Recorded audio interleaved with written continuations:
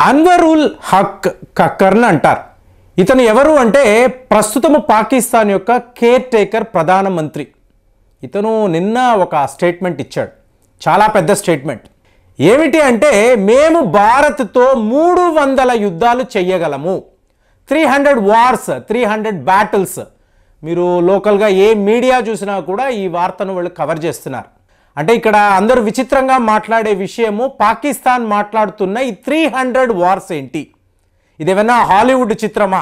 ఇప్పుడు ప్రస్తుతము మీరు తెలుగు సినిమాలు తమిళ సినిమాల్లో చూసారనుకోండి ఒక ట్రెండ్.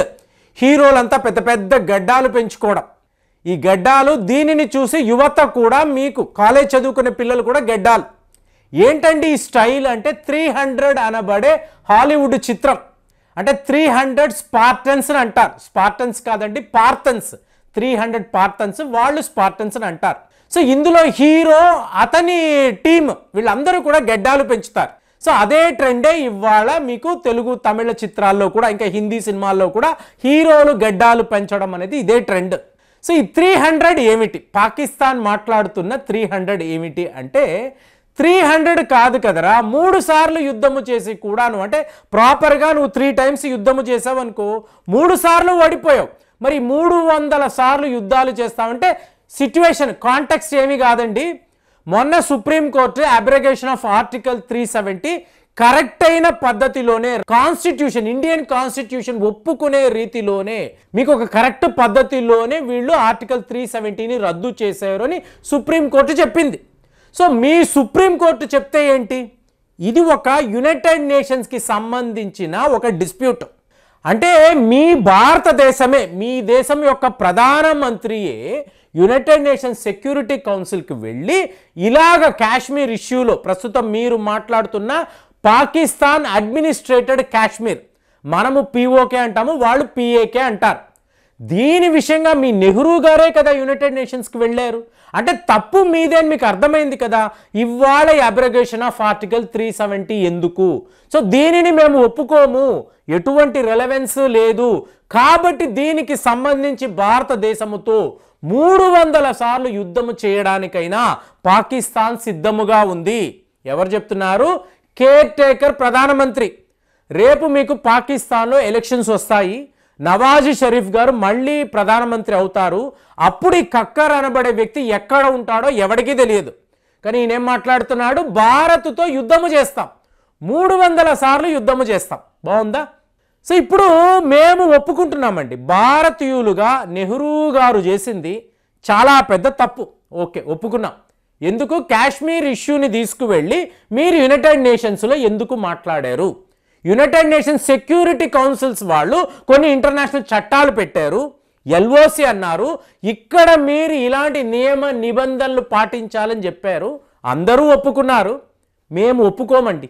భారతీయులుగా మేము ఇలాంటి ఇలాంటి ఒక నిర్ణయాన్ని ఇవాళ వరకు కూడా సమర్థించడం లేదు. న్యూ ఇండియాలో ఇలాంటి ఆలోచనలే లేవు. నెహ్రూ గారు చేశారంటే వంద శాతం తప్పే చేశారండి మేము ఒప్పుకున్నాం. కానీ కాశ్మీర్ అనేది ఎవరిది? మాది.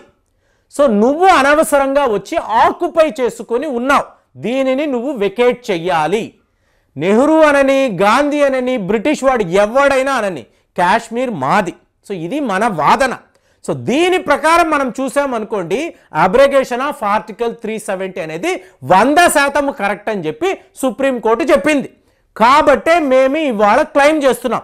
మీరు దేశమంతా మీరు చూసారనుకోండి ఒకటి అయోధ్యలో రామాలయము రెండవది మీకు పీఓకే గురించే మాట్లాడుకుంటున్నారు. జియో పాలిటిక్స్లో ఇంట్రెస్ట్ ఉన్న వాళ్ళందరూ కూడా పీఓకే మీద శ్రద్ధగా ఏం జరుగుతుందో గమనిస్తున్నారు. ఇక ఇక్కడ ఒక చాలా ముఖ్యమైన ఒక విషయం ఏంటంటే చైనా వాడు. చైనా వాడు ఏం మాట్లాడతాడు? లడాక్ అనబడే ప్రాంతం మాది.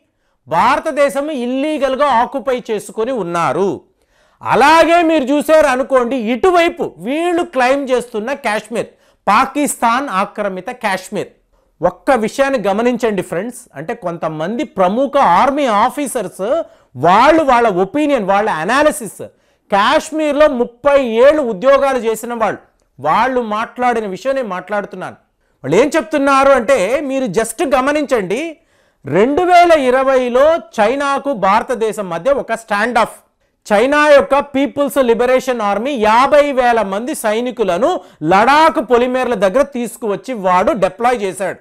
తరువాత గాల్వాన్ వ్యాలీలో ఒక ఘర్షణ కూడా జరిగింది. రెండు వేల ఇరవై రెండులో చైనాకు భారతదేశానికి మధ్య వ్యాపారం నూట ముప్పై ఆరు బిలియన్ అమెరికన్ డాలర్స్ అండి. జస్ట్ మీరు ఇమాజిన్ చేయండి భారతదేశము చైనాకు సంబంధించిన ఈ యాప్స్ ఎన్ని యాప్స్ని మనము బ్యాన్ చేసాం బాయ్కాట్ చేసాం అలాగే చైనా మొబైల్ ఫోన్స్ భారతదేశంలో అమ్మకానికి వస్తే కస్టమ్స్ డ్యూటీ అని చెప్పి ఇవాళ ఇరవై పర్సెంట్ కస్టమ్స్ డ్యూటీ మనం వేస్తున్నాం. అంటే చైనా మీద మనకు ఉన్న ప్రతీకారాన్ని మనం తీర్చుకుంటున్నాం.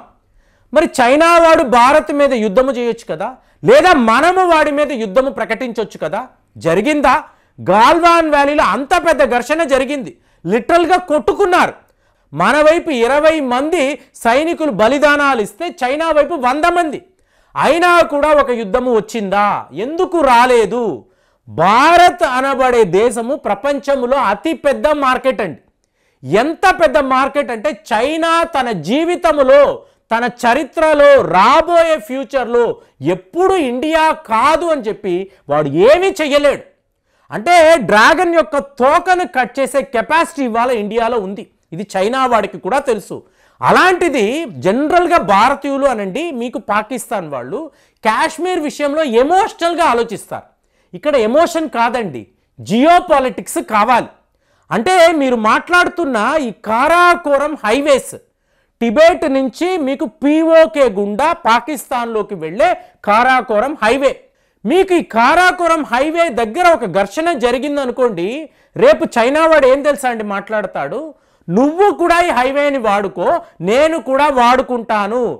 పాకిస్తాన్ వాడిని పక్కన పెట్టు అంటాడు. అంటే ఒక హైవే కోసరము భారతదేశముతో శత్రుత్వాన్ని పెంచుకునే పిచ్చివాడు చైనావాడు కాదు. వాడు ఒక జిత్తుల మారి మీకు రంగులు మార్చే ఊసరవెల్లి. అలాంటి వాడు వీడు పాకిస్తాన్ని వంద శాతం డిచ్ చేస్తాడండి.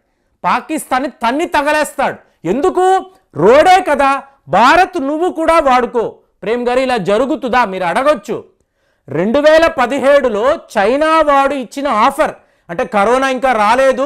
ఎటువంటి ఘర్షణ ఇండియాకు చైనాకు మధ్య లేదు. జీ జింగ్పింగ్ కూడా భారత్కు వచ్చాడు. మహాబలిపురంలో మోదీ గారితో చాలా పెద్ద లెవెల్లో నెగోసియేషన్స్ చేశారు. ఏమిటి అంటే బెల్ట్ అండ్ రోడ్ ఇనిషియేటివ్ ఏదైతే ఉందో దీనిని మీరు అలో చెయ్యండి.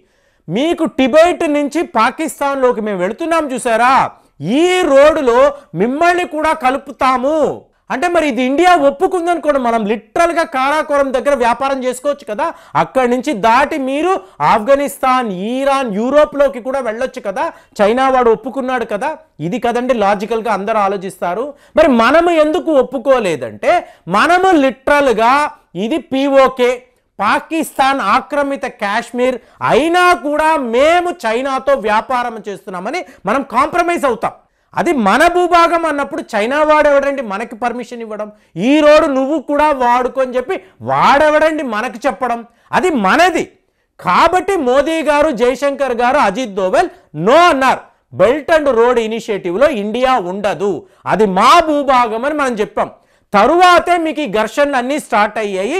మనం abrogation of article three seventy తీసుకొచ్చాం.